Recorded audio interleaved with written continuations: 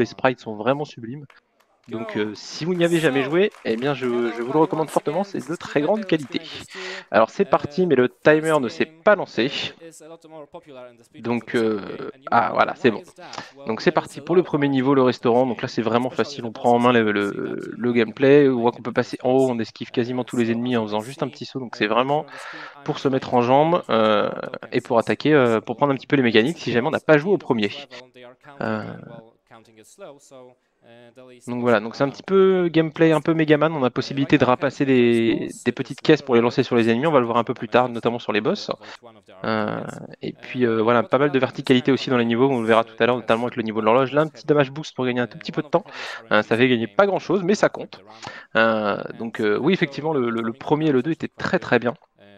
Donc, euh, donc voilà, j'ai une petite préférence pour le premier, mais euh, le 2 est quand même de très bonne qualité. Il est un petit peu plus long, vous allez voir que la run elle est beaucoup plus longue, hein. enfin deux, quasiment deux fois plus longue que, que le premier. Donc là, on a notre petite mouche qui vient nous débloquer le robinet, ce qui va nous permettre de remonter et de passer.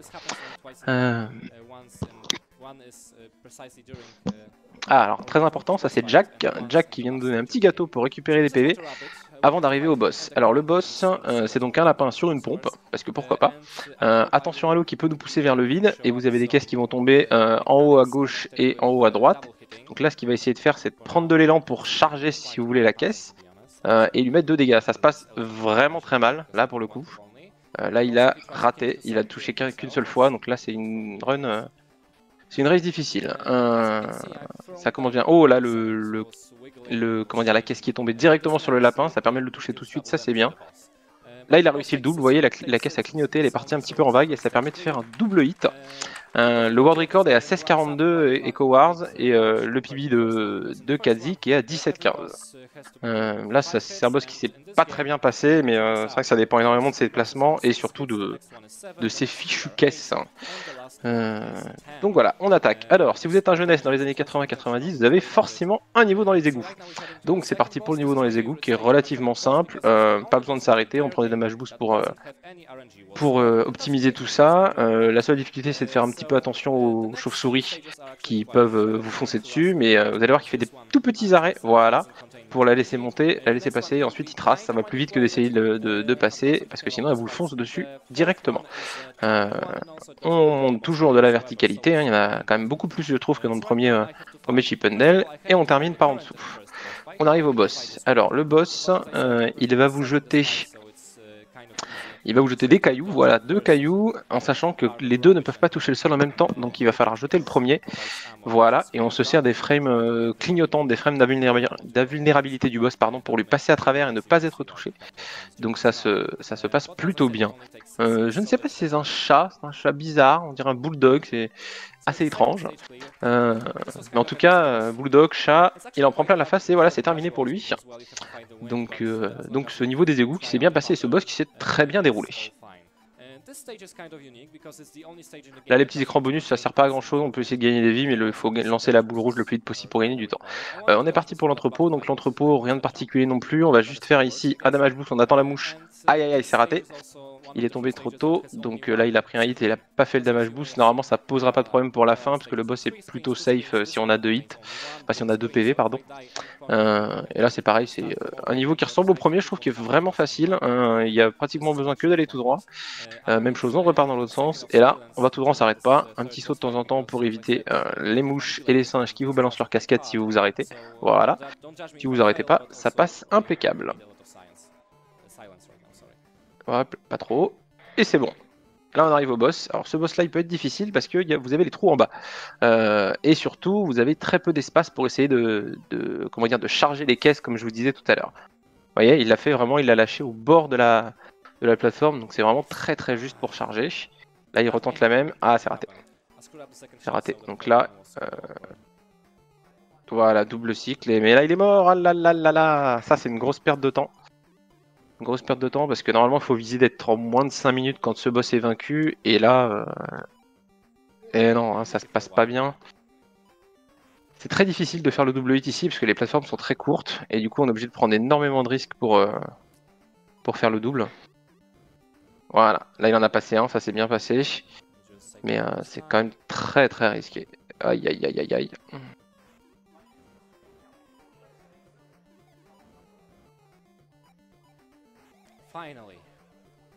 Voilà, là c'est passé, il en faut encore un. Et vous voyez, à chaque fois, il est obligé de prendre des risques quand même considérables pour... eux. Voilà, c'est passé. C'était difficile, mais c'est passé. when you don't do the power shot as I told you before, uh, you don't actually hit him and uh, voilà, j'ai actualisé. On est dans le niveau euh, du frigo. Je pense que c'est mieux là.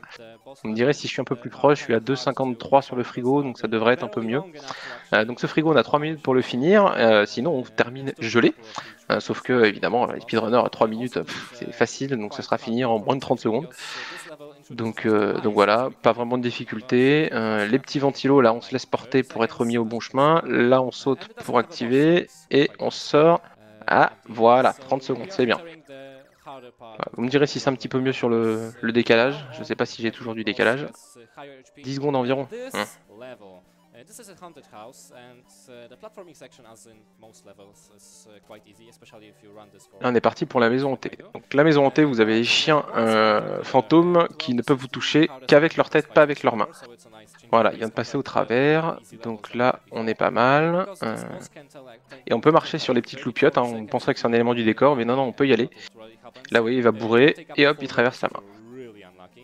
La maison en T, alors la forme de la maison, euh, c'est comme tu veux, euh, Exhaustum, en T, en L, en W, en, en ce que tu veux. Euh, je valide cette blague. Voilà, on est samedi soir, je valide cette blague, il n'y a pas de problème.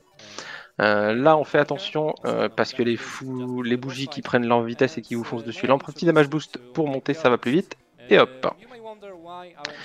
Et donc nous voilà au boss, au boss RNG de la run. Donc lui, il a deux patterns. Soit il fait ça, il lance des boules et donc vous lui mettez dans la tête après. Mais s'il a le pattern rapide, il lance qu'une boule. S'il a le pattern lent, bah, toujours pas. Euh, on a le pattern lent toujours, voilà. Euh, là, il va doucement, voilà, parfait. Donc, première boule, vous allez voir, s'il veut bien la lâcher. Il a lâché extrêmement tard, c'est pas cool. Donc là, on ne peut pas faire le double hit, c'est un peu dommage. Et on a son deuxième pattern qui lâche des éclairs, et celui-là, on peut pas le toucher, on est obligé de se mettre dans le coin et d'attendre. Il peut pas nous toucher non plus. Mais là, je vous avoue, moi j'ai un petit peu rené le jeu et euh, c'est vraiment le truc où vous perdez des fois 30, 40, 50 secondes gratuitement. On peut rien faire. On peut juste croiser les doigts et c'est tout. Là il faut aller vite. Euh, c'est un peu juste. Hein. Il a vraiment pas, pas de chance du tout sur, ses, euh, sur les patterns de ce boss. C'est vraiment... c'est difficile. Hein.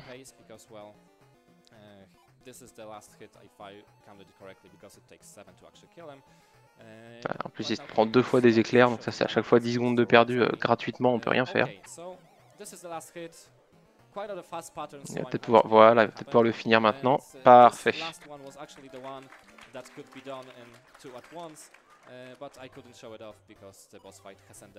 fortunately quick enough.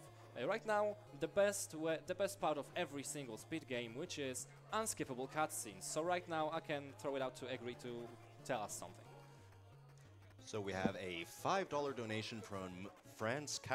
Donc là, un petit peu de blabla, et on va attaquer la deuxième partie de la run. Avec trois niveaux que vous voyez au fond, on a euh, la Clock Tower, on a le Western et le Monde du Futur. On les fait dans le même ordre, donc l'ordre que je viens de vous donner, euh, puisque c'est dans l'ordre du menu, tout simplement. Hop, c'est parti pour la Clock Tower, qui va rappeler des petites choses aux, joueurs de Castlevania sur NES, puisque on a aussi des petits engrenages et euh, pas mal de verticalité à partir de maintenant. Là, on prend un petit damage boost avec le, la vis que ce cher, euh, cette chère souris nous lançait. Euh, et on continue à monter. Là, attention, on prend le deuxième damage boost. Après, il faut vraiment être prudent parce que un hit et on recommence en bas, tout en bas.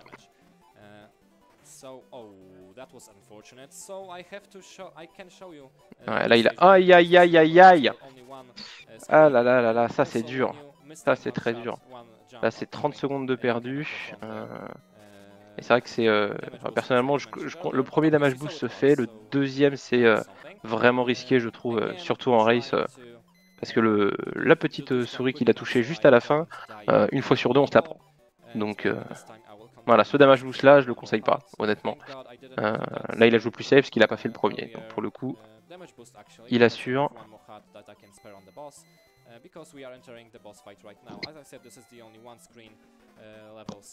Voilà. Le plus dur est fait. Alors le boss ici, on a une autruche qui fait du monocycle, parce que pourquoi pas, et qui nous jette des, des écrous. On utilise la même technique que contre le chat, c'est utiliser les frames d'invulnérabilité quand on le touche pour passer à travers. comme ça, ça passe très bien. Il nous fonce dessus, on le laisse jouer. Voilà. Pour l'instant, il a des patterns plutôt cool. Alors je crois que ce ne sont pas ses bras, ce sont ses ailes Mongol One, je crois. Et, euh, et oui, c'est vrai que ça ressemble à l'autruche dans Mega Man X2, tout à fait.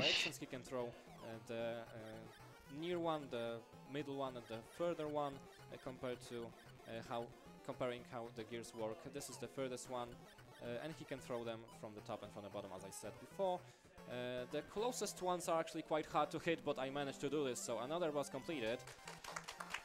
And uh, we are nearing the second one. Ah, c'est bien passé. We had those unskippable cutscenes where the main villain of this game, Fat Cat, has locked himself in a theme park and uh, spread Allez, on va attaquer le western maintenant. Three different uh, parts of the uh, park, so we can enter them in a random order or the order we choose to. Uh, uh, donc la première partie qui est vraiment simple, par contre la deuxième il faut faire un petit peu attention parce qu'on est parti avec des wagonnets.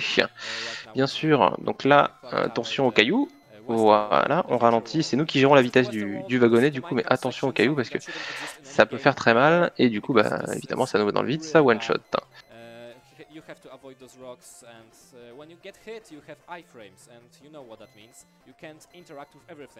And and including this lever that pushes the card forward. So if you take damage and try to push the card forward, you just fall down because you can't interact with the lever, so you just skip it and die. Ça se passe bien pour l'instant. On peut bourrer avec les petits pendules. Là, si on a le bon cycle, voilà. On s'arrête une dernière fois et on est parti.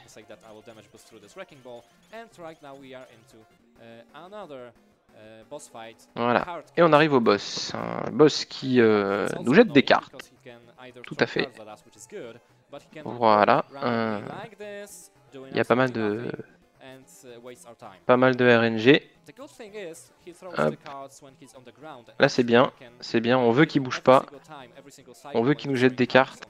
Ah, c'est pas... Le début était bien, là c'est un peu dur. Hein. Impeccable, 2 de suite, encore 3 hits je pense, j'ai bien compté. Ah, là il a pris le risque, c'était risqué parce que en l'air c'est pas évident de le toucher, mais ça s'est bien passé. Aïe aïe aïe, attention. Attention, un hit.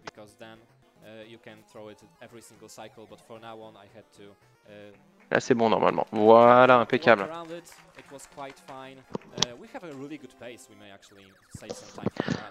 C'est bien rattrapé là-dessus. Il a 13 minutes, donc euh, encore un encore un niveau. Le niveau du futur donc. Donc celui-ci qui ressemble pas mal, je trouve, au niveau de, Gravity Man, si je me souviens bien. Donc je ne sais plus quel Mega Man est, ça devait être, le 5. Euh, donc là, voilà, on est, on est parti. Attention à ces presses là qui one shot et là on peut pas passer donc il faut attendre. Il faut attendre. Hop, euh, merci Olican, Man 5, ouais, j'avais un doute. c'est assez simple, là les petites plateformes on s'attarde pas trop parce qu'elles deviennent rouges et ensuite elles tombent. Voilà.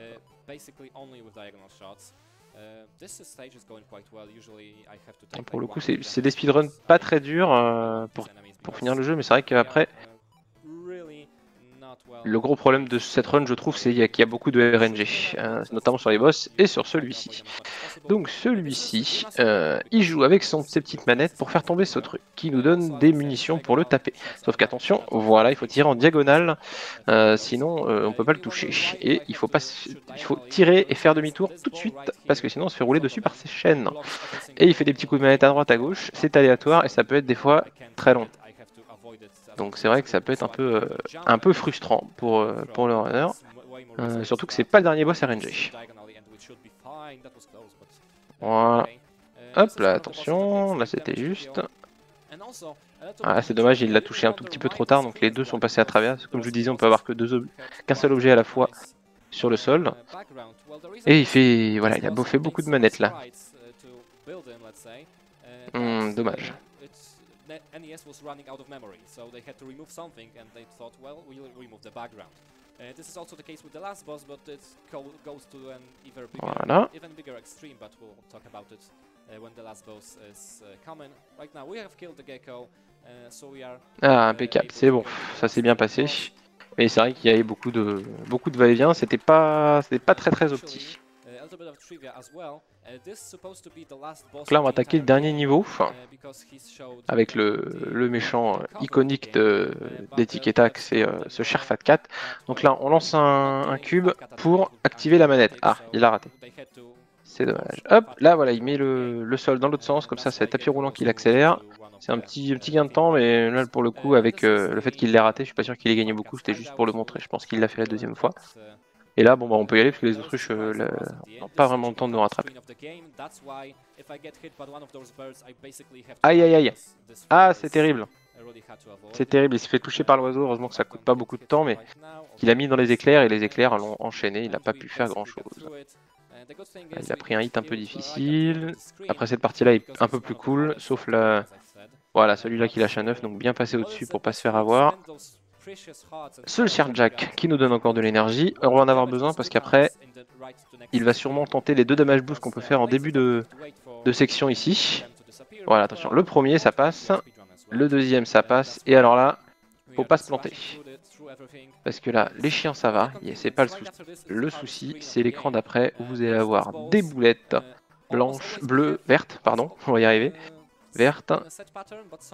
Et voilà, le comportement n'est pas aléatoire, mais il faut bien démarrer au bon moment. Sinon, ça peut vite devenir catastrophique. Voilà, c'est bon, c'est passé. On récupère un peu d'énergie ici pour aller voir le, le boss de fin, qui, vous le verrez, est également plutôt RNG.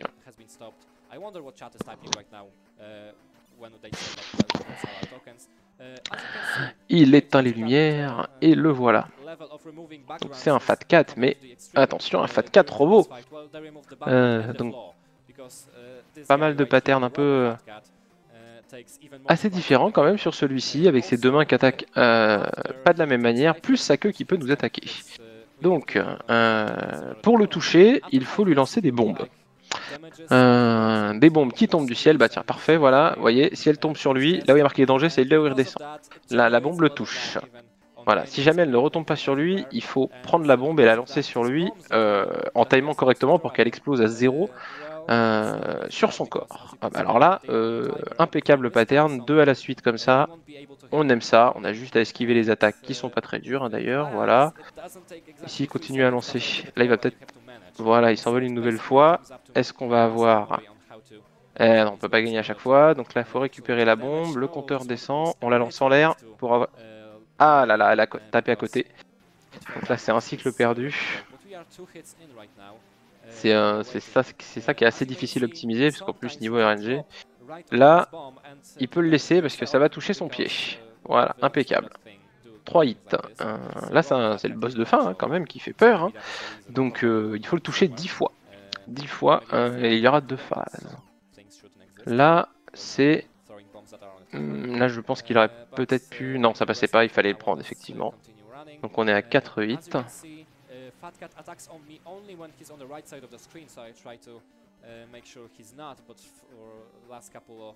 Impeccable, là le cinquième qui tombe au bon endroit.